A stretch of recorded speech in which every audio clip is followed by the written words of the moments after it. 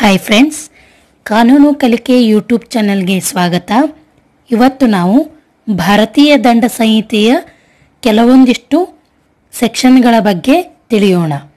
ಇದಕ್ಕೂ ಮೊದಲು ನಮ್ಮ ಚಾನಲನ್ನು ಸಬ್ಸ್ಕ್ರೈಬ್ ಮಾಡಿ ಹಾಗೂ ಬೆಲ್ಲೈಕನ್ನನ್ನು ಒತ್ತಿರಿ. ಮೊದಲನೆಯದಾಗಿ ಸೆಕ್ಷನ್ ಮುನ್ನೂರ ಮೂರು. ಇದು ಆಜೀವ ಕಾರಾವಾಸಕ್ಕೆ ಗುರಿಯಾದವನು ಮಾಡಿದ ಕೊಲೆಗೆ ದಂಡನೆಯ ಬಗ್ಗೆ ತಿಳಿಸುತ್ತದೆ.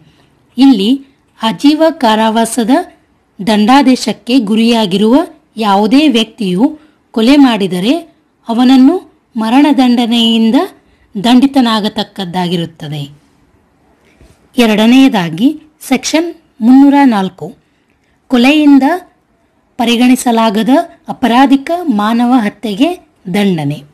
ಇಲ್ಲಿ ಯಾವುದೇ ಒಬ್ಬ ವ್ಯಕ್ತಿಯು ಕೊಲೆಯಿಂದ ಪರಿಗಣಿಸಲಾಗದಂತಹ ಅಪರಾಧಿಕ ಮಾನವ ಹತ್ಯೆಯನ್ನು ಮಾಡಿದರೆ ಮರಣ ಕಾರಣವಾದ ಆ ಕೃತ್ಯವನ್ನು ಮರಣವನ್ನುಂಟು ಮಾಡುವ ಉದ್ದೇಶದಿಂದ ಅಥವಾ ಮರಣವನ್ನುಂಟು ಮಾಡುವ ಸಂಭವವಿರುವ ದೈಹಿಕ ಕ್ಷತಿಯನ್ನುಂಟು ಮಾಡುವ ಉದ್ದೇಶದಿಂದ ಮಾಡಿದರೆ ಅವನು ಆಜೀವ ಕಾರಾವಾಸದಿಂದ ಅಥವಾ ಹತ್ತು ವರ್ಷಗಳವರೆಗಿನ ಅವಧಿಯ ಎರಡರಲ್ಲೊಂದು ಬಗೆಯ ಕಾರಾವಾಸದಿಂದ ದಂಡಿತನಾಗತಕ್ಕದ್ದು ಹಾಗೂ ಜುಲ್ಮಾನೆಗೆ ಗುರಿಯಾಗತಕ್ಕದ್ದು ಅಥವಾ ಆ ಕೃತ್ಯವನ್ನು ಅದರಿಂದಾಗಿ ಮರಣ ಉಂಟಾಗುವ ಸಂಭವವಿದೆಯೆಂದು ತಿಳಿದು, ಆದರೆ ಮರಣವನ್ನುಂಟು ಮಾಡುವ ಅಥವಾ ಮರಣವನ್ನುಂಟು ಮಾಡುವಂತಹ ದೈಹಿಕ ಕ್ಷತಿಯನ್ನುಂಟು ಮಾಡುವ ಉದ್ದೇಶವಿಲ್ಲದೆ ಮಾಡಿದರೆ ಹತ್ತು ವರ್ಷಗಳವರೆಗಿನ ಅವಧಿಯ ಎರಡರಲ್ಲೊಂದು ಬಗೆಯ ಕಾರಾವಾಸದಿಂದ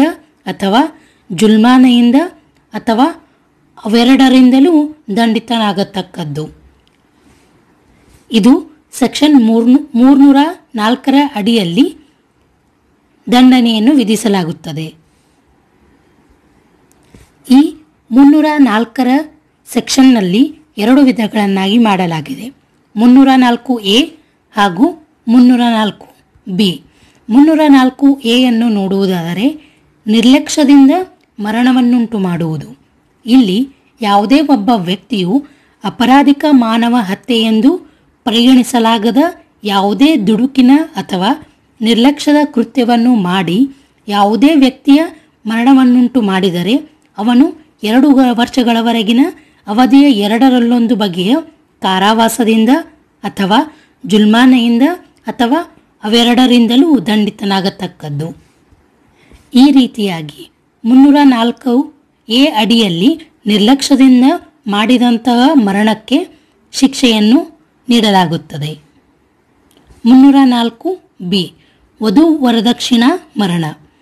ಇಲ್ಲಿ ಯಾವ ಮಹಿಳೆಯ ಮರಣವು ಅವಳ ವಿವಾಹದ ಏಳು ವರ್ಷಗಳೊಳಗೆ ಸುಟ್ಟ ಗಾಯಗಳು ಅಥವಾ ದೈಹಿಕ ಕ್ಷತಿಯಿಂದ ಅಥವಾ ಸಾಮಾನ್ಯ ಸಂದರ್ಭಗಳ ಮೇರೆಗೆ ಹೊರತು ಅನ್ಯತಾ ಉಂಟಾಗಿರುವಲ್ಲಿ ಮತ್ತು ಅವಳು ಮರಣ ಹೊಂದ್ ಹೊಂದುವುದಕ್ಕಿಂತ ಮುಂಚೆಯೇ ಅವಳು ವಧು ವರದಕ್ಷಿಣೆಗಾಗಿ ಯಾವುದೇ ತೆರನಾದಂತಹ ಅಥವಾ ಅದಕ್ಕೆ ಸಂಬಂಧಪಟ್ಟಂತೆ ಅವಳ ಗಂಡ ಅಥವಾ ಅವಳ ಗಂಡನ ಯಾವುದೇ ಸಂಬಂಧಿಯಿಂದ ಕ್ರೌರ್ಯ ಅಥವಾ ಕಿರುಕುಳಕ್ಕೆ ಒಳಪಟ್ಟಿದ್ದಳು ಎಂದು ತೋರಿಸುವಲ್ಲಿ ಅಂತಹ ಮರಣವನ್ನು ವಧು ವರದಕ್ಷಿಣಾ ಮರಣ ಎಂಬುದಾಗಿ ಕರೆಯತಕ್ಕದ್ದು.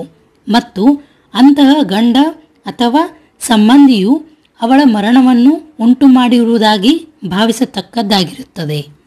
ಇಲ್ಲಿ ವಧು ವರದಕ್ಷಿಣೆಯ ಮರಣವನ್ನು ಉಂಟು ಮಾಡುವ ಯಾವುದೇ ವ್ಯಕ್ತಿಯು ಏಳು ವರ್ಷಗಳಿಗಿಂತ ಕಡಿಮೆ ಇಲ್ಲದ ಅವಧಿಯ, ಆದರೆ ಆ ಆಜೀವ ಕಾರಾವಾಸದಿಂದ ವಿಸ್ತರಿಸಬಹುದಾದಂತಹ ಅವಧಿಯವರೆಗಿನ ಕಾರಾವಾಸದಿಂದ ದಂಡಿತನಾಗತಕ್ಕದ್ದು. ಸೆಕ್ಷನ್ ಮುನ್ನೂರ ಐದು. ಮಗುವಿನ ಅಥವಾ ಅಸ್ವಸ್ಥ ಚಿತ್ತದ ವ್ಯಕ್ತಿಯ ಆತ್ಮಹತ್ಯೆಗೆ ದುಷ್ಪ್ರೇರಣೆ.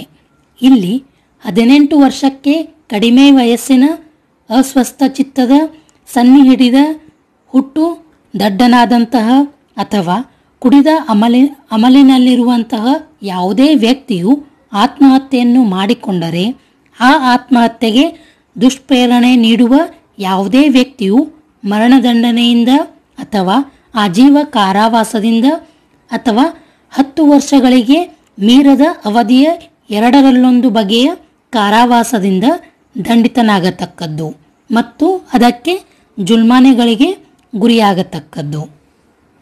ಇಲ್ಲಿ ಮಗುವಿಗಾಗಲಿ ಅಥವಾ ಅಸ್ವಸ್ಥ ಚಿತ್ತದ ವ್ಯಕ್ತಿಗಾಗಲಿ ಯಾವುದೇ ರೀತಿಯಾದಂತಹ ಆತ್ಮಹತ್ಯೆಯ ಬಗ್ಗೆ ಅರಿವು ಇರುವುದಿಲ್ಲ.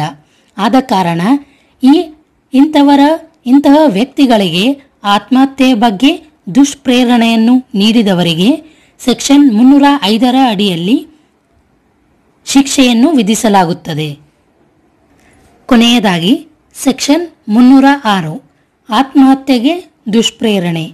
ಯಾವುದೇ ವ್ಯಕ್ತಿಯು ಆತ್ಮಹತ್ಯೆಯನ್ನು ಮಾಡಿಕೊಂಡರೆ ಹಾಗೆಯೇ ಆತ್ಮಹತ್ಯೆ ಮಾಡಿಕೊಳ್ಳಲು ದುಷ್ಪ್ರೇರಣೆಯನ್ನು ನೀಡುವ ಯಾವುದೇ ವ್ಯಕ್ತಿಯು ಹತ್ತು ವರ್ಷಗಳವರೆಗಿನ ಅವಧಿಯ ಎರಡರಲ್ಲೊಂದು ಬಗೆಯ ಕಾರಾವಾಸದಿಂದ ದಂಡಿತನಾಗತಕ್ಕದ್ದು ಮತ್ತು ಅದಕ್ಕೆ ಜುಲ್ಮಾನಿಗೆ ಗುರಿಯಾಗತಕ್ಕದ್ದು. ಇಲ್ಲಿ ಮುನ್ನೂರ ಆರರ ಅಡಿಯಲ್ಲಿ ಯಾವುದೇ ವ್ಯಕ್ತಿಗೆ ಆತ್ಮಹತ್ಯೆಗೆ ದುಷ್ಪ್ರೇರಣೆಯನ್ನು ನೀಡಿದರೆ ಅದಕ್ಕೆ ಶಿಕ್ಷೆಯನ್ನು ವಿಧಿಸಲಾಗುತ್ತದೆ. ಅದೇ ರೀತಿಯಾಗಿ ಹಿಂದಿನ ಕಲಂ ಅಂದರೆ ಮುನ್ನೂರ ಐದರ ಅಡಿಯಲ್ಲಿ ಮಗುವಿನ ಅಥವಾ ಅಸ್ವಸ್ಥ ಚಿತ್ತ ವ್ಯಕ್ತಿಗೆ ಆತ್ಮಹತ್ಯೆಗೆ ದುಷ್ಪ್ರೇರಣೆಯನ್ನು ನೀಡಿದರೆ ಅದಕ್ಕೂ ಸಹ ದುಷ್, ದುಷ್ಪ್ರೇರಣೆ ಮಾಡಿದಂತಹ ವ್ಯಕ್ತಿಗೆ ಶಿಕ್ಷೆಯನ್ನು ವಿಧಿಸಲಾಗುತ್ತದೆ. ಇಂದಿನ ವಿಡಿಯೋದಲ್ಲಿ ನಾವು ಸೆಕ್ಷನ್ ಮುನ್ನೂರ ಮೂರು, ಸೆಕ್ಷನ್ ಮುನ್ನೂರ ನಾಲ್ಕು, ಹಾಗೆ ಮುನ್ನೂರ ನಾಲ್ಕರಲ್ಲಿ ಮುನ್ನೂರ ನಾಲ್ಕು ಎ ಹಾಗೂ ಮುನ್ನೂರ ನಾಲ್ಕು ಬಿ ಹಾಗೂ ಮುನ್ನೂರ ಐದು ಹಾಗೂ ಕೊನೆಯದಾಗಿ ಸೆಕ್ಷನ್ ಮುನ್ನೂರ ಆರರ ಬಗ್ಗೆ ತಿಳಿದುಕೊಂಡೆವು. ಮುಂದಿನ ವಿಡಿಯೋದಲ್ಲಿ ಐ ಪಿ ಸಿಯ ಬಗ್ಗೆ ಇನ್ನಷ್ಟು ಹೆಚ್ಚು ಕಲಂಗಳ ಬಗ್ಗೆ ತಿಳಿಯೋಣ. ಹಾಗೆಯೇ ಇಂದಿನ ನಮ್ಮ ಈ ವಿಡಿಯೋ ನಿಮಗೆ ಇಷ್ಟವಾದಲ್ಲಿ ಲೈಕ್ ಮಾಡಿ, ಶೇರ್ ಮಾಡಿ ಹಾಗೂ ನಮ್ಮ ಚಾನಲ್ನನ್ನು ಸಬ್ಸ್ಕ್ರೈಬ್ ಮಾಡಿ ಮತ್ತು ಬೆಲ್ಲೈಕನ್ನನ್ನು ಒತ್ತಿರಿ. ಧನ್ಯವಾದ.